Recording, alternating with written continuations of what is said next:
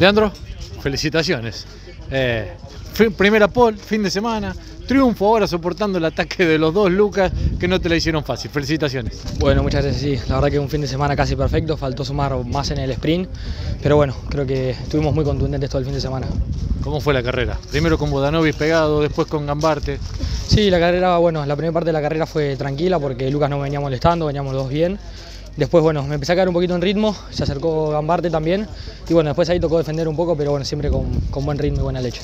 Sobre el final, última vuelta y media, dos, hiciste una diferencia ya más tranquilizadora. Sí, creo que cuando Lucas alejó un poco, eh, pude hacer dos vueltas rápidas dentro de todo y bueno, ahí hizo una diferencia tranquilizadora. Felicitaciones. Muchas gracias.